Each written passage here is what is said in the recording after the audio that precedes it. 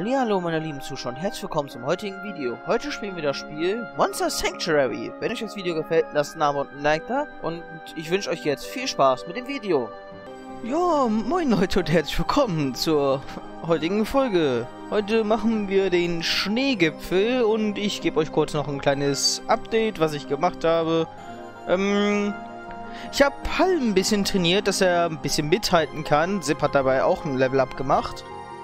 Hab die Skills schon verteilt. Ihm habe ich einfach nur hier Mana-Treffer gegeben und bei Pal habe ich ihm Feuersturm gegeben, Entfachen, habe hier die Blitze hier ein bisschen trainiert und den Mana-Treffer gegeben. Hier aus der Reihe habe ich ihm fast alles gegeben. Und ich habe ihm noch den Sturm plus den Mana-Schutz gegeben. Außerdem habe ich ihn hier mit Mana-Items ausgestattet, weil er sehr dringend Mana braucht. Der hat da Ultra-Probleme. Und hier wartet der alte Buran. Halli, hallo. Ich bin hier nur ein wenig rumgewandert. Sind die Schneegipfel nicht einfach der großartigste Anblick unserer Zuflucht?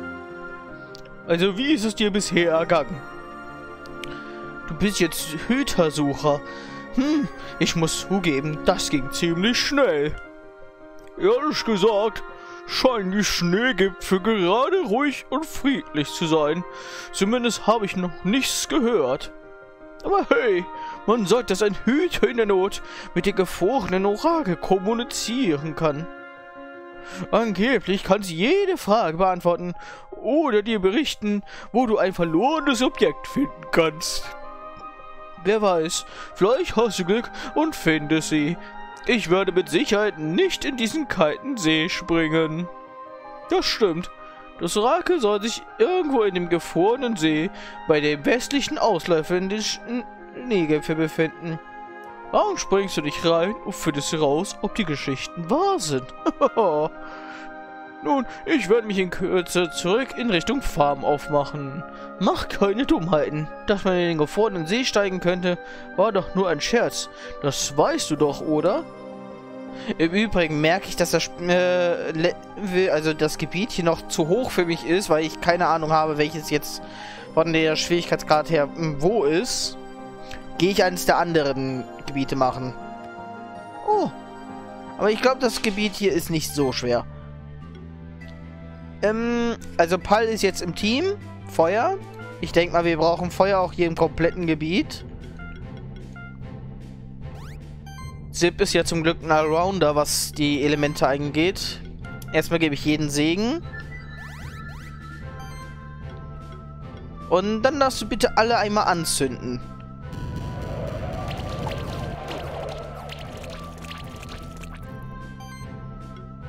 Du darfst dasselbe veranstalten. Also, kurze Erklärung, Mana-Schild macht der Schaden, der Pal, dann kriegt er ein Schild.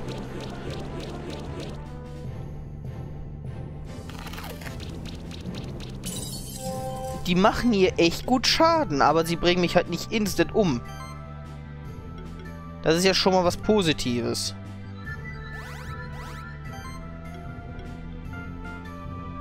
So, der Feuersturm. Der kann, äh, wird übrigens nur wegen der Schleime nicht übersprungen. Weil die habe ich vorher noch nicht gesehen. Ich springe jetzt den da um.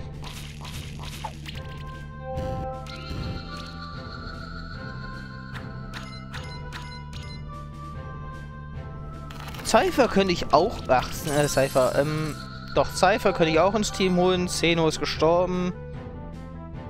Nee, Zip war das.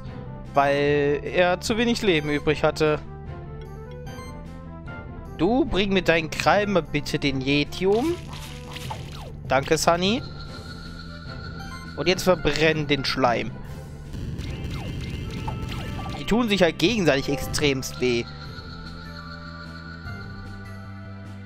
Joey-Ei. Ja, ich würde mal sagen, wir sind ungefähr im richtigen Gebiet. Ähm, Psycho und ich werde ich hier wahrscheinlich nicht brauchen. Übrigens, ich habe einen neuen Sherpa geholt, weil ich war in dem Festungsdungeon nochmal und habe dabei das Seetfischchen geholt. Und das habe ich nicht weggegeben, weil man damit die Erdstatuen äh, aktivieren kann. So, Cypher, du bist jetzt im Team. Dich muss ich wahrscheinlich wieder neu ausrüsten. Nee, hast deine Ausrüstung tatsächlich sogar. Ähm. Ja. Du kriegst mal irgendwas, das Magie anhebt. Ja komm, du kriegst noch einen Reißzahn. Und Yannick hat ein Level-Up gehabt. Habe ich gar nicht mitbekommen. Ähm... Du kriegst hier noch mehr Gesundheit.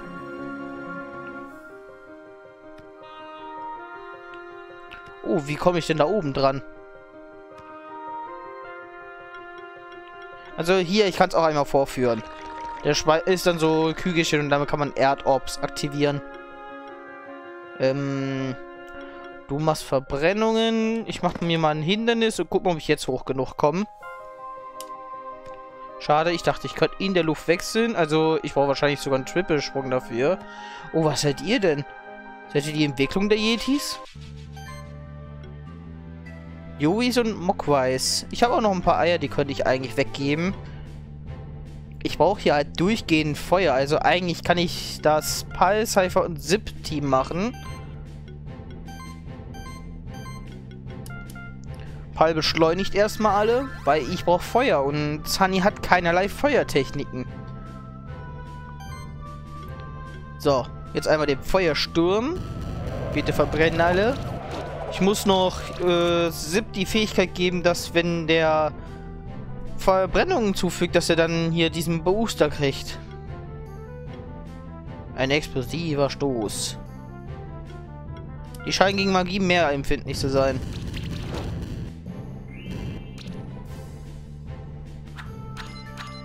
Seid übrigens froh, dass ich euch den ganzen Weg von da drüben erspart hatte. Der Eisblitz wirkt gut. Also der macht echt gut Schaden. Also ihr werdet mir wahrscheinlich in der Feuerebene richtig praktisch. Das Gute ist, Pal kann auch heilen. Also er ist nicht komplett useless. Ich dachte erst, er wäre komplett useless. Ich habe es auch direkt in den Kommentaren gelesen. Ob ihr hier äh, schon euch fragt, hm, wird Pal diesmal nützlich sein oder wird er wieder auf der Bank nur hocken?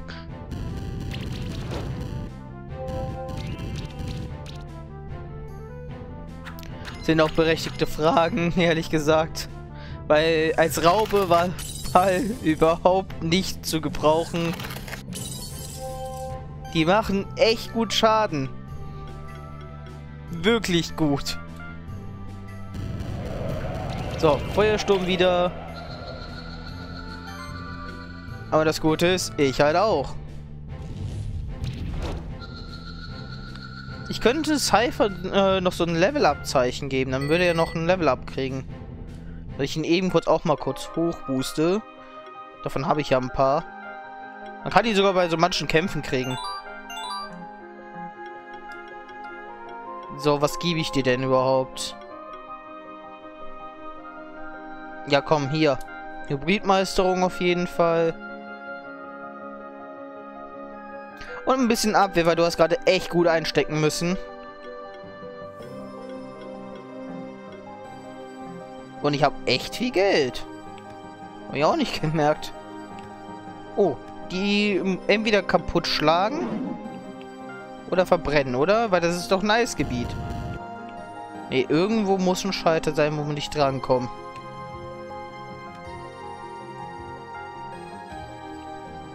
Ich dachte kurz, äh, hier, die Decke bringt mich um. Okay, da ist auch ein Schalter. Hier ist Schalter Nummer 1. Die scheinen gegenseitig irgendwas zu aktivieren. Okay, den Kampf kann ich jetzt rauscutten, weil wir kennen die Gegner jetzt schon. Leute, Kampf geschafft. Ich habe ein Eisblob-Ei erhalten. Äh, wen habe ich gerade alles nicht im Team? Ganz ehrlich, äh, nach dem Gebiet kann er einfach äh, dann Cypher ablösen und ich öffne das Ei erst nach dem Gebiet. Ich habe den einen Schalter da jetzt aktiviert. Okay, der eine macht den da drüben. Ich kriege ein blaues Juwel. Jetzt müsste sich hier was geöffnet haben.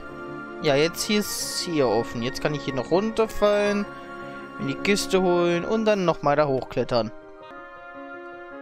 So, jetzt sind wir im nächsten Gebiet. Ich kann hier hochklettern. Oh, und ich muss erst einen Schalter dafür aktivieren. Ey, die Wand hier kann ich doch safe einreißen. Hallo? Die konnte ich gleich doppelt einreißen.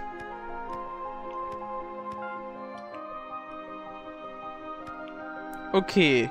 Irgendwo ist ein Schalter versteckt. Ich habe auf jeden Fall eine versteckte Kiste zufällig gefunden. Oh, wieder äh, diese Blauis. Und sie sind tot. Ich habe mich im Namen verteilen. Sie heißen Mockweiß, wovon ich auch ein Ei erhalten habe. Und Sunny ist Level 20. Das ist der erste, der Level 20 erreicht hat. Er kann altern lernen. Was ist altern? Oh, das ist ja ein richtig guter Buff. Aber erstmal gucken, was wir sonst noch haben. Eisperrsalve. Das ist halt Eisperr, nur dass es alle trifft. Und dann auch noch zweimal. Spektralflamme muss jetzt nicht bedingt verbessert werden. Ich muss halt erstmal gucken. Oh, äh, Sunny hat ja generell so eine hohe Frostchance. Er hätte dann jetzt auch noch eine höhere Crit-Chance, sobald sie Frost drauf haben. Wenn ich den 1 gegeben würde.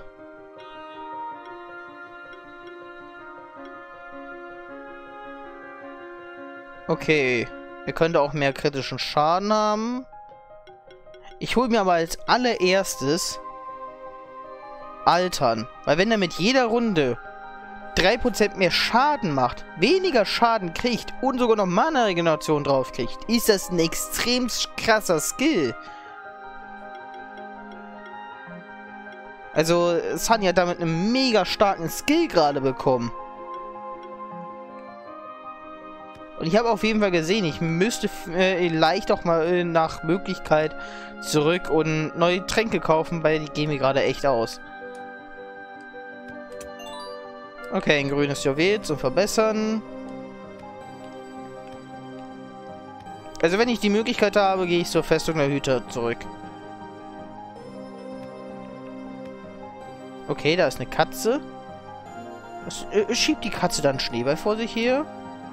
Nee, ich glaube, die trägt eine Halskette. Warte, ich will mal kurz ranzoomen. Och, äh, wie süß. Guckt euch das mal an. Die hat ein Bällchen vor sich. Das ist ja süß. Und sie, äh, es greift an. Die heißen sogar Lichtkatze. Und die sind schwach gegen Wasser. Das heißt, diesmal ist Sunny berechtigt im Kampf. Ich habe immer so einen, der gegen das Eis wenigstens was aushält, immer drin gelassen. Warum habe ich jetzt eigentlich Cypher genommen statt Pal? Guck mal, allein jetzt hat er schon Altern bekommen. Ich will gar nicht wissen, wie stark er noch dadurch wird. Der macht jetzt schon mehr Schaden. Und bedenkt, mit jeder Runde wird Sunny jetzt stärker. Der rasiert, wenn er dazu kommt.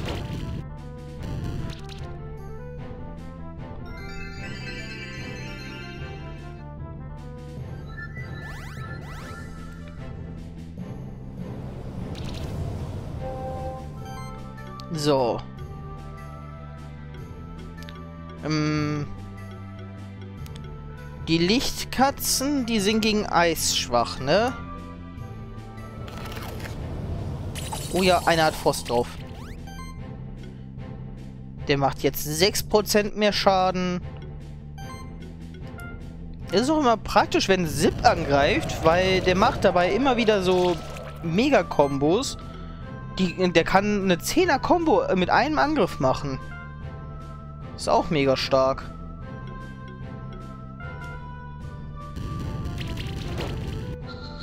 Oh, eine Katze hat überlebt. Die Katze kann heilen. Boah, die Katze hätte ich so gern.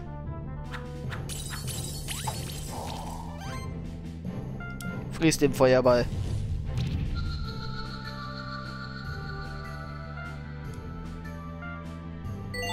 Und noch einer hat sein Level Up.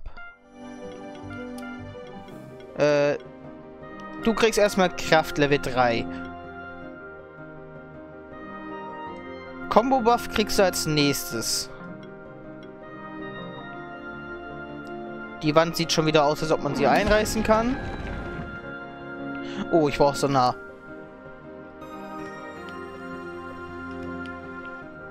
Uh. Oh Gott. Ey, komm, das will ich heute noch schaffen. Okay, ich, ich merke mir hier. Ich hatte mir gut gemerkt, wo das Ding steht. Und ich habe einen Skilltrank dafür bekommen. Das heißt, es hat sich auch gelohnt. Okay, ich weiß ja, dass dort Boden war. Okay, ich gehe jetzt noch in das nächste Gebiet und dann mache ich für heute wahrscheinlich auch schon Schluss.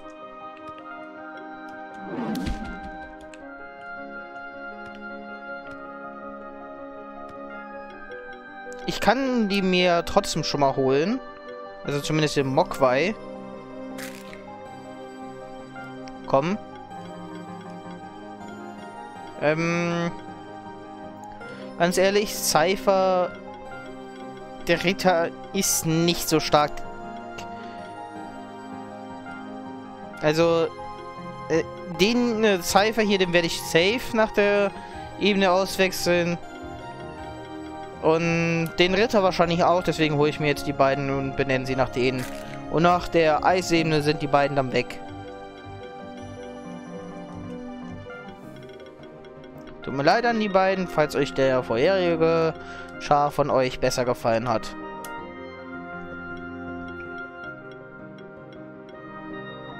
Ich gucke die Skillpunkte mir jetzt noch nicht an. Die können beide Eis-Ops aktivieren. Also ich brauche von den beiden auch nur einen.